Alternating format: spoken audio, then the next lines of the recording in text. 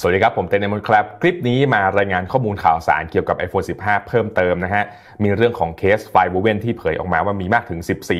มีข่าวลือบอกว่าตัว iPhone 15 เนี่ย ตัวท็อปจะมีอยู่ 2 รุ่นก็คือตัว iPhone 15 Ultra แล้วก็ iPhone 15 Pro Max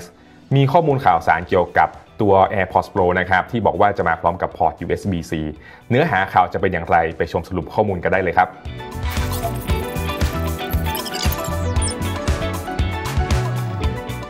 ก่อนหน้านี้เราเคยเห็นภาพถ่ายของเคสตัวใหม่ของ iPhone 15 นะครับ ชื่อว่าเคส FineWoven ล่าสุดเนี่ยทาง Kosutami ก็ได้โพสต์ภาพเพิ่มเติมนะ เป็นภาพตัวเคส FineWoven มีถึง 10 สีเลย เดี๋ยวผมจะอ่านให้ฟังว่ามีสีอะไรบ้างนะครับ มีสีดำ Mulberry Taupe Evergreen Pacific Blue Wisteria Antique White Butter Yellow ส้ม และสีชมพูครับ Kosutami เผยว่าตัวเคส FineWoven นะครับ พื้นผิวด้านหลังจะเป็นผิวแบบถัก คาดว่าทำมาจากหนังเทียม ส่วนขอบด้านข้างเนี่ยจะเป็นวัสดุยาง หรือว่าตัวซิลิโคนนะ เป็นสีที่มันเข้มกว่าฝาหลังนิดหน่อย ซึ่งก็เหมือนภาพที่ DuanRui ได้เผยมาก่อนหน้านี้ครับรายงานเผยว่าตัวเคส FineWoven จะใช้วัสดุเดียวกันกับสาย Apple Watch ตัวใหม่ ที่ชื่อว่า Woven Fabric นะฮะ ซึ่งรายงานว่าจะเป็นสายสำหรับตัว Apple Watch Series 9ลวดลายนะครับจะเป็นสายถักมีหมุดแม่เหล็กนะ เหมือนกับตัว Modern Buckle คาดว่าตัวสายใหม่ตัวนี้จะเปิดขายในราคา 99 ดอลลาร์นะครับ ราคาเท่ากับตัวสายถักที่ Apple ขายหน้าตอนนี้สำหรับเคส FineWoven ตัวใหม่ของ iPhone 15 นะครับ มีข่าวลือบอกว่าจะเป็นเคสที่ทำมาจากหนังเทียม มาทดแทนเคสหนังที่มีข่าวลือว่า iPhone 15 เนี่ยจะไม่มีเคสหนังขายอีกต่อไป โดยสื่อนะครับตั้งชื่อตัวเคสใหม่นี้ว่าเป็นเคส MagSafe รุ่นรักโลก อีกข่าวหนึ่งน่าสนใจมากครับ ก่อนหน้านี้เราได้ยินข่าวกันมาของตัว iPhone 15 Ultra นะว่าจะมาแทน iPhone 15 Pro Max แต่ล่าสุดเนี่ยทาง Magic b ูนะครับเผยว่าตัว iPhone 15 Ultra แล้วก็ iPhone 15 Pro Max เนี่ยอาจจะแยกกันมาจินบูรายงานข้อมูลเกี่ยวกับ iPhone 15 ตัวแรงไว้ดังนี้นะครับ เผยว่าตัว iPhone 15 ตัวแรงเนี่ยจะมีอยู่ 2 ตัวก็คือตัว iPhone 15 Pro Max แล้วก็ iPhone 15 Ultra โดยตัว iPhone 15 Pro ก็จะมีอยู่ 2 รุ่นได้แก่ตัว iPhone 15 Pro แล้วก็ iPhone 15 Pro Max โดยที่ตัว iPhone 15 Pro แล้วก็ iPhone 15 Pro Max จะมาพร้อมแรม 6 GB ความจุสูงสุด1 TB ส่วน iPhone 15 Ultra จะมาพร้อมกับแรม 8 GB ความจุสูงสุด2 TB iPhone 15 Ultra นะครับ กล้องหลังจะดีกว่ารุ่น Pro โดยมีรายงานบอกว่าจะมาพร้อมกล้องหลัง Periscope และสุดท้ายนะครับ ตัว iPhone 15 Ultra จะมีราคาที่แพงกว่าตัว iPhone 15 Pro แล้วก็ iPhone 15 Pro Max มากถึง 100 ดอลลาร์เลยทีเดียว Majin Bu เผยว่าข้อมูลตัวนี้เขาได้มาจากผู้ผลิตเคส บอกว่าตัว iPhone 15 Pro Max แล้วก็ iPhone 15 Ultra เนี่ยจะแยกกัน แล้วก็ทำให้ตัว iPhone 15 Pro Max เนี่ยอาจจะไม่ใช่ตัวท็อปอีกต่อไป ด้าน Mark Gurman นะได้รีทวิตของ Majin Bu แล้วก็บอกว่าเป็นไปไม่ได้หรอกปีนี้จะไม่มี iPhone 15 Pro Max แล้วก็ iPhone 15 Ultra เปิดตัวคู่กัน โดยที่จะมี iPhone 15 Pro Max เพียงตัวเดียว หรือไม่ก็เปลี่ยนชื่อเป็นตัว iPhone 15 Ultra ส่วนถ้าตัวท็อปจะมา 2 รุ่นเนี่ยอาจจะเป็นรุ่นใหม่ของปีหน้ามากกว่าครับ ส่วนตัวผมเนี่ยคิดว่าปีนี้ก็ iPhone 15 Pro ก็ยังคงลายเดิมนะก็จะมี iPhone 15 Pro แล้วก็ iPhone 15 Pro Max ส่วน iPhone 15 Ultra เนี่ยก็ส่วนตัวคิดว่าถ้า Apple จะเอามาเนี่ยก็อาจจะมาแค่ชื่อนะฮะก็จะเป็นตัว iPhone 15 Pro หรือไม่ก็ iPhone 15 Ultra เพราะว่ามีรายงานบอกว่า iPhone 15 Ultra ตัวท็อปตัวนี้จะมาพร้อมกับการเปลี่ยนแปลงหลายอย่างนะครับอย่างเช่นเรื่องของตัวดีไซน์ตัวเครื่องที่จะมาพร้อมตัวเครื่องกรอบวัสดุไทเทเนียมพอร์ต USB-C ปุ่ม Action และกล้องหลัง Periscope ซึ่งตัว iPhone 15 Pro เนี่ยอาจจะยังได้ใช้กล้อง Telephoto เหมือนเดิม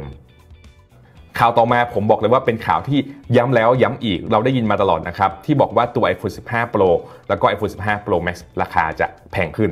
ล่าสุดนะครับทางที่ทีทามก็เป็นอีกหนึ่งเสียงนะครับที่รายงานข้อมูลว่าตัวราคาเริ่มต้นของ iPhone 15 Pro แล้วก็ iPhone 15 Pro Max จะเพิ่มขึ้นนะครับจาก iPhone 14 Pro แล้วก็ iPhone 14 Pro Max ดิจิทามเผยว่า Apple ได้สั่งผลิต iPhone 15 ไปรวมๆอยู่ที่ 80ถึง90 ล้านเครื่องนะครับ ซึ่งมากกว่าตัว iPhone 14 ซีรีส์นะที่ปีที่แล้วนะครับมีการสั่งผลิต 90ถึง100 ล้านเครื่อง โดย iPhone 15 นะครับก็จะมีสัดส่วนการแบ่งเป็นดังนี้นะครับก็คือมากสุดก็จะเป็นตัว iPhone 15 Pro Max ลองลงมาก็เป็น iPhone 15 Pro ถัดมาเป็น iPhone 15 แล้วก็ตัว iPhone 15 Plus เนี่ยมียอดผลิตน้อยสุดครับ ทำให้ณตอนนี้นะทั้งนักปล่อยข่าวลืออย่างมาร์เกอร์แมนมิงชี่ขวเจฟปู แล้วก็นักวิเคราะห์อื่นๆนะครับต่างก็ให้ข้อมูลตรงกันว่าปีนี้ iPhone 15 Pro แล้วก็ iPhone 15 Pro Max จะมีราคาเพิ่มขึ้นจากปีที่แล้วนะครับ โดยมีรายงานบอกว่าราคาเนี่ยจะเพิ่มขึ้นราวๆ 100-200 ดอลลาร์ เดี๋ยวผมจะสรุปราคาให้ฟังอีกรอบหนึ่งนะ ผมสรุปหลายคลิปแล้วแต่ว่าคลิปเนี่ยจะมาพูดอีกรอบหนึ่ง คาดว่าราคา iPhone 15 Pro นะครับเริ่มต้นจะอยู่ที่ 1,099 ดอลลาร์ ถึง 1,199 ดอลลาร์ ส่วน iPhone 15 Pro Max ราคาเริ่มต้นก็อาจจะอยู่ที่ 1,199 ดอลลาร์ ถึง 1,299 ดอลลาร์ซึ่งแน่นอนครับ ถ้าราคาที่สหรัฐอเมริกาเปิดตัวมาแบบนี้ ราคาอย่างประเทศอื่นอย่างเช่นบ้านเราอย่างไทยเนี่ยก็จะปรับตัวขึ้นสูงเช่นกัน ส่วน iPhone 15 แล้วก็ iPhone 15 Plus เนี่ยมีรายงานบอกว่าราคาเนี่ยจะยังเท่าเดิมถือว่าเป็นข่าวดีอยู่นะครับ ข่าวสุดท้ายวันนี้ก็เป็นเรื่องของ AirPods Pro นะครับ ก่อนหน้านี้มันมีรายงานบอกว่า Apple เนี่ยอาจเปิดตัว AirPods Pro นะครับที่มาพร้อมพอร์ต USB-C หลังจากที่เปิดตัว iPhone 15 เพราะว่า iPhone 15 ปีนี้มีรายงานบอกว่าจะเปลี่ยนจากพอร์ต Lightning เป็น USB-C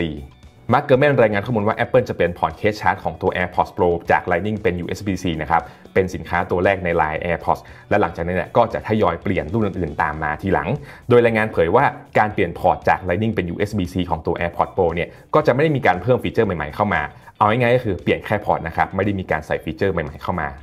และหลังจากที่ Apple เปลี่ยนพอร์ตของ AirPods Pro นะครับจาก Lightning เป็น USB-C แล้วเนี่ยก็จะมีการลดราคา AirPods รุ่นเดิมๆนะครับเพื่อให้ลูกค้าเนี่ยเข้าถึงง่ายขึ้นในระหว่างช่วงเปลี่ยนผ่าน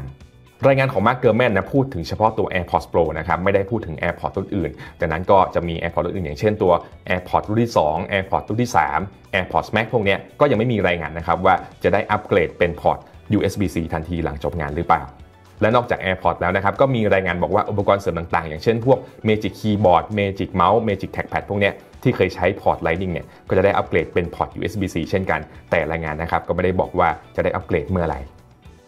Apple ประกาศจัดงานอีเวนต์ Wonderlust เปิดตัวสินค้าใหม่วันที่ 12 กันยายนนี้ คาดว่าจะเปิดตัว iPhone 15 Apple Watch Series 9 Apple Watch Ultra รุ่นที่ 2 แล้วก็ AirPods Pro พอร์ต USB-C รวมถึงอาจจะมีสินค้าอื่นเปิดตัวด้วย จะเป็นอย่างไรก็ไปรอดูกันในวันงานนะครับ ก่อนจากกันไปก็ฝากกดไลค์ กดแชร์ กด Subscribe ช่อง m อ d Official ไว้ด้วย คลิปนี้ผมแต่ในมดขอลาไปก่อนครับ สวัสดีครับ